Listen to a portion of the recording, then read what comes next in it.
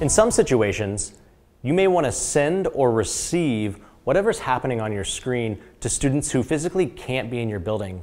Sometimes these students are homebound, or maybe they're just sick. Hi, my name's Mr. Sharp. I have over 12 years experience in the classroom and I'm one of ViewSonic's professional development trainers. Today we're going to take a look at myViewBoard for Windows, which has incredible casting features for whatever device you're using, doesn't matter. We're going to start by using the myViewBoard companion app to sign in to the myViewBoard for Windows program. Once I'm signed in, I'm going to go to File Management and I'm going to open a literacy lesson for today from the cloud from Google Drive.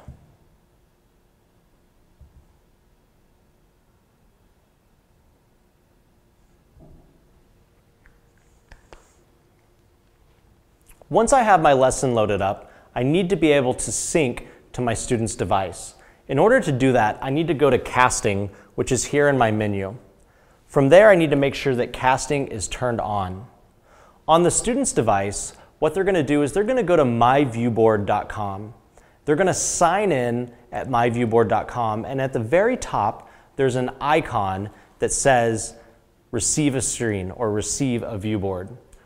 Once they type that in, they're going to need to type in the viewboard name. Up here on the top left, you can see that my board name is VS Trainer. They type in VS Trainer and their name, and then I'm gonna get a notification that lets me know they are ready to receive my screen. Again, this is a device that is not on the same network as this panel, it's remote. I can see the student's name appear, that they're requesting my screen, and then when I activate it, you'll get a mirror of what's on the panel on the student device.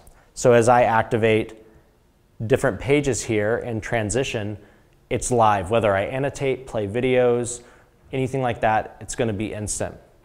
Now, when I want a student to interact back with me, I can actually receive their screen to the panel.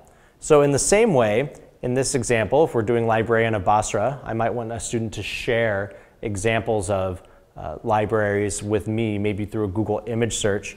I'm going to go back to casting, and then I'm going to wait here to see the present in window. When a student presents in, they're going to go to myviewboard.com again. They're going to click on the icon that is share a screen.